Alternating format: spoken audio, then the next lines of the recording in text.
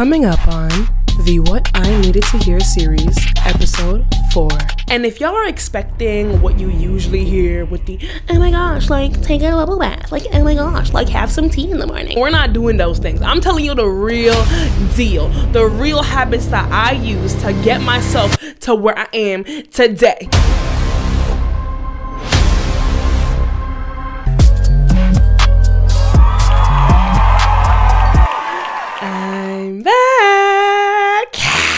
Hello, hola, bonjour, et sing. My name is Electra, and welcome to the What I Needed to Hear series, where I teach you everything I wish I knew sooner. Ooh, okay, intro. okay, professional. so, as you can see by the title, Self Love Habits for Dummies, episode 4. Clearly, we are going to be talking about self love. Okay, so I really, really, really wanted to share my self love habits with you because I was looking through my phone, right? Uh-huh, and just take a look. Bitch do it. 50 squats in morning and before you go to sleep ho. Up workouts in morning and night bitch. Go to the gym at least 3 times a week fucking bitch. Never have less than 50 in your bank account broke bitch. Save for a car bus riding yeah, that gets to get. And I realized that I've actually grown to love myself so much over the years when I didn't really love myself that much back in the day. So hopefully by the end of this video, you get a couple tips that'll help you on your self-love journey. and before I forget, don't forget to hit the subscribe button, okay? Because why y'all watching and not subscribing? What is y'all on? Hit the subscribe button, hit the like, and leave a comment. Let me know if you're from TikTok Live or not. Okay, okay. Let's get on to point number one. Self-love letters. I used to do this quite often, and one time I one time I took it as far as to mail the letter to myself so that one day I would randomly get mail and be surprised with the letter that I wrote to me. So it's like, oh my gosh, someone loves me that much to send me a letter and the someone is me. I feel like it is so important to write yourself love letters because it is one thing to know in your head, oh yeah, I love this about me. Oh yeah, I love that. But it's a whole other thing to have some hardcore proof, hardcore copies of all the things that you love about you, okay? If you need an example, I have one for you. Dear Electra, I love how you've been so consistent with your new series. The what I needed to hear! Series. You are such an inspiration. Guys, I love how you've been prioritizing the gym. You make it look so easy. I do. Cue video. I love and adore you. I can't wait to shower you with all my love and gifts. You are one of a kind. Oh my gosh, I think I need tissue. You are the baddest. Stay blessed. I love you, cute ass. That was just an example of a love letter that you could write for yourself. Obviously, you don't need to copy this. Do whatever works for you, like I said in my last episode. If there's any more of a time to be confident and to gas yourself up, it is now. Because I know there's some people who are like, like, oh my gosh, like I'm not even that pretty, or like, I'm not one to gas myself. But no, when you're writing this letter, you are gassing yourself to the fullest, even if you don't believe it. This is the time to show yourself so much love, so much admiration, so much attention. So on the days where you're feeling like, oh my gosh, I don't feel like cute today, or oh my gosh, I gained two pounds today, you can just open up that letter, read it, and boom, boom, boom, boom, boom, boom, boom you get reminded of how amazing you are. Okay, so when you're writing these love letters to yourself, be for real and get deep. Don't just talk about your looks, talk about your personality, talk about your attributes, talk about your traits, talk about your habits, talk about literally anything. Anything there is to admire about you, talk about it in the letter. Number two, reread them often. I'm not saying sit there all day, every day reading a love letter you wrote to yourself. That would be a little conceited, maybe a little narcissistic, I don't know. But you reread them when you're not feeling that good about yourself. Open up that letter to remind yourself that you are that girl or you are that boy, okay? It is just such a nice like thing to have as a reminder that you're amazing. Like who doesn't want to remember that they're amazing? Hello? The next point is rate them often. You could have one, but why would you have one when you could have 10? 10 different love letters directed to yourself. It's just gassing you. Like, oh my gosh. The next point I have here is write like how you would want your crush to write to you. For this exercise, it's important to kind of like step out of you and look at you from an outsider's perspective. What would you want your crush to say to you? What would you want your crush to text you? What would you want your crush to think about you? Like the point of this letter is to remind yourself that you are amazing and you deserve love and you're worthy and you're beautiful and there's so many things that you can remind yourself of, okay? This letter is all up to you. There's no right or wrong way to do it as long as you make sure your intention is that whenever you read this letter, you feel like the baddest bitch alive. Okay, okay. Next point. So number two is self-love lists. Super easy, super simple. You write three sentences or as long as you want. You write down three things that you love about yourself. It could be anything. It could be I love my eyebrows, I love my kneecaps, and I love my booty cheeks.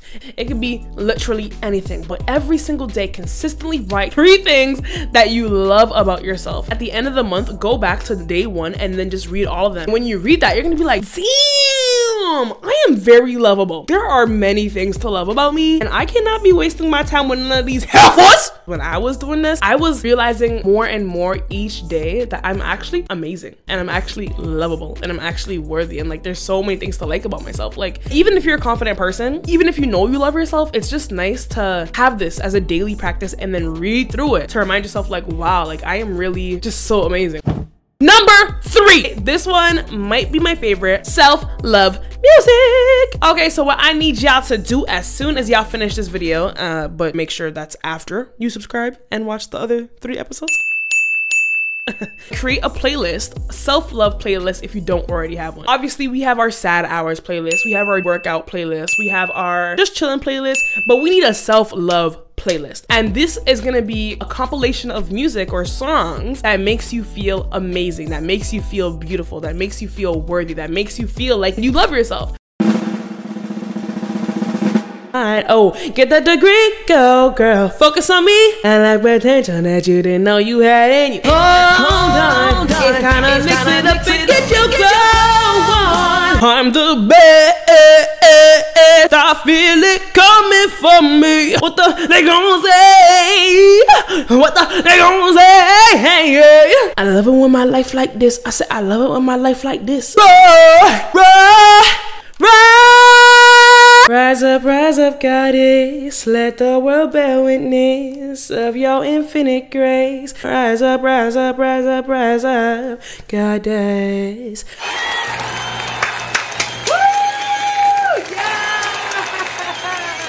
But yeah, you don't have to use these songs that I suggested. You can choose whatever song that makes you feel inspired, beautiful, worthy, loved, etc., etc. Choose those high vibrational songs, make it a playlist, and you listen to that every day. And you love yourself more and more each listen. Number four is mirror work. Hello. Okay, so I am very surprised because I used to do this before I even like intentionally took my self-love journey. Literally, every single time I see a mirror or my reflection or a window or whatever where I can see myself, I'd be like, oh my god, hey cutie. How you doing? you look good.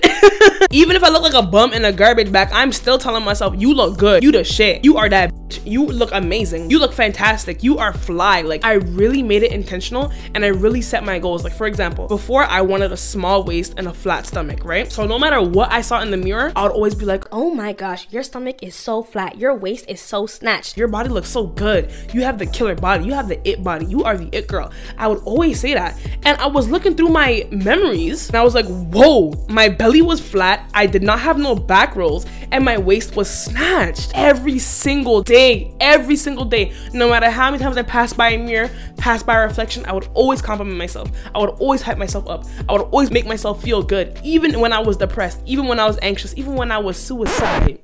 when I was suicide. You know what I'm gonna say. Mirror work is real, mirror work works. Even if you don't like what you see, compliment yourself as if you already have the body that you want, or the facial structure that you want, or the nose that you want, or whatever. And then one day you'll actually get it. Now, I'm not saying, oh, go in the mirror and say, oh my gosh, your belly's so flat. And then leave the mirror and go have McDonald's every every night, don't work out, don't walk,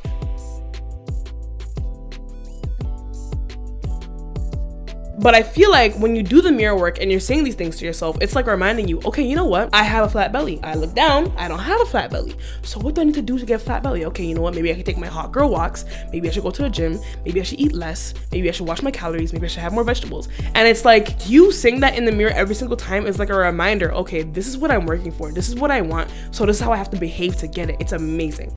Another key point I have is get naked and play music, okay? I don't know about y'all, but there was a point in my life where I was like, oh my gosh, I've literally gained so much weight. I don't like looking in the mirror. I don't like it. But then I saw someone, I don't know where I saw this. It was some post. They're like, My therapist told me to stand in front of the mirror naked and just look. Don't judge, just look. So I stood in front of the mirror. I got absolutely naked. I wasn't sucking in my stomach or nothing. I played some music. I dimmed the lights and I was just dancing, very sensually feeling myself, enjoying myself.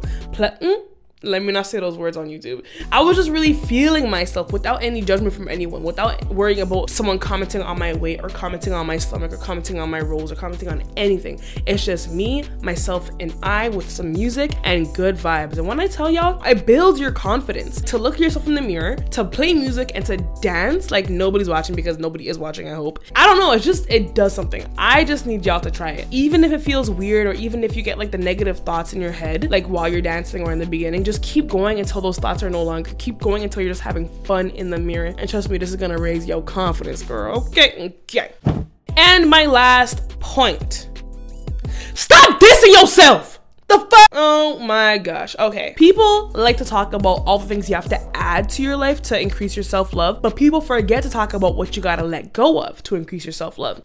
So what I'm going to need y'all to do is stop dissing y'all selves, okay? So for example, let's say, I don't know, you, you do something and it causes a minor inconvenience. People would be like, oh, I'm so dumb, oh, I'm so retarded, or I'm so stupid, I'm so this, I'm so that. Drop it drop it. Just drop it. That is not cute. That is not good for your mental health. And that is like, just think about it like this. I'm not a scientist or whatever, but I have done my research on like neural pathways and affirmations and how it affects the subconscious, etc. The more bad thoughts you collect and the more you keep telling yourself the same thing, the more your brain is going to believe that. I don't care if you don't actually think you're dumb. I don't care if you don't actually think you're stupid. The problem is you're saying it and words are spells. The more you say something, the more your brain believes it. So I'm gonna need y'all to leave that shit alone if you make a mistake, it's okay. You don't have to say I'm dumb. You don't have to say I'm stupid. You don't have to say anything. Just be like, oh, shit, my bad.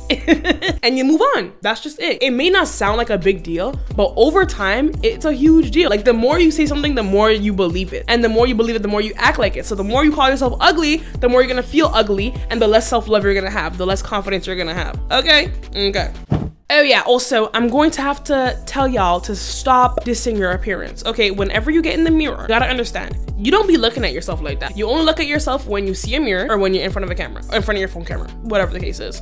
So imagine you have a roommate, right? Every time you're in the living room, you see your roommate, and your roommate's like, ew, you're ugly. Ew, you're ugly. Ew, you're fat. Ew, lose some weight. Ew, look at your rolls. Ew, look at your eyebrows. Every single time, how is that gonna make you feel? So how dare you? Every single time you see your reflection, every single time you see a mirror, you're gonna say, oh, I don't like this about myself. Oh my gosh, I need to change this about myself. Oh, I need to lose weight. Oh, I need to gain weight. No! Every time you see yourself, there should be a compliment. Now, I'm not saying ignore all your faults, ignore your flaws, ignore whatever, and don't fix them. But what I'm saying is, if you're going to look at yourself in the mirror, why should the first thing that comes out of your mouth be something that makes you feel bad? How are you supposed to love yourself more if every single time you look at yourself, you feel bad? No, that doesn't make any sense. Stop dissing yourself. Stop pointing out the things that you don't like about yourself. Point out the things that you like about yourself. Maybe you don't like your belly. Okay, maybe you don't like your eyebrows, but maybe you like your cheekbones. Maybe you like your kneecaps. Maybe you like your shoulders. Focus on the things that you actually like. It is okay to acknowledge the things that you don't like, but every single time, oh my gosh, my nose, oh my gosh, my jaw, oh my gosh, my forehead. No, you're never going to love yourself that way. You're never going to love yourself if you're always pointing out the negative or the wrong things about you. That's just not how it works. You gotta love yourself. You gotta compliment yourself. You gotta put the effort in. Every single time you look in the mirror, I know we already talked about mirror work, compliment yourself, make yourself feel good, or point out something that you like about yourself. Stop dissing. So the last key point to this chapter is no talking yourself out of compliments. If someone comes up to you and they say, "Oh my gosh, you look amazing today," and then you say, "Oh my gosh, no, literally, I look so tired. Like my bags are so big. Like my shirt is actually dirty. Like oh my gosh, I wore that outfit yesterday." What's wrong with you? What's wrong with you? Stop that. Stop diverting from compliments. Stop doing that. When someone gives you a compliment, you take that shit. You take that shit and then you add it to the piggy bank in your head of good thoughts. Piggy bank in your head of why you should love yourself. Piggy bank in your head of good things about yourself. Like, hello? Shut up and say thank you. Shut up, bro. What is wrong with you? How you over here searching up how to love myself? How do I love myself more? How to have more self-love? How to da da da da da da? And you're not even accepting the little love that the universe is giving you, or that God's giving you, or that your reality is giving you. You cannot you cannot reject every single compliment and expect to love yourself more. You take those compliments and you run with it. You take those compliments and you put it inside your head. Put it in your head. You are that girl. You are that boy. You are the shit. You are powerful. You are creative. You are stunning. You are beautiful. You are fit. You are fresh. You are fly. Like, hello. Accept the damn compliment. And now we're gonna do a little recap. Okay, so boom, self love habits, writing your self love letters. Okay, making a self love playlist. Okay, doing that mirror work. Okay, and lastly, stop dissing yourself that was a good episode. I hope that you guys actually, of course, full storage. Anyways, I hope you guys actually genuinely take what I've said in this video and actually apply it into your life and actually see the results because this is everything that I used to do. And literally, my confidence has raised, my self love has raised. I actually do love myself for real. But every day, it's a work in progress. Not every day you're gonna have the same level of self love for yourself, and that's totally fine. Okay, but apply these habits. Let me know how it goes. Leave a comment down below. If you like the series, hit subscribe and watch the last three videos because if you like this one, you're gonna like those ones. My name is Electra, you've been watching Winth, and I'll see you in the next episode. Bye!